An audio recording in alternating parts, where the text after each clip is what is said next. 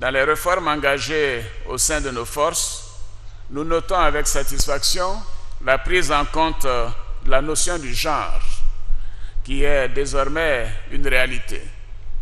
Ainsi, après l'École nationale de police, l'EFA, l'ENSOA, aujourd'hui nous notons l'arrivée de jeunes filles à l'EMPT de Benjerville depuis cette rentrée scolaire. Je m'en félicite. Très bientôt, l'École nationale de gendarmerie, la gendarmerie, fera la même expérience. Nous encourageons les parents à orienter leurs filles dans tous les corps de métier de l'armée, à l'instar du médecin général Kwame Akissi, que nous avons nommé au grade de général de brigade, faisant d'elle la première femme générale de l'histoire de notre pays. Madame Kwame, toutes nos félicitations.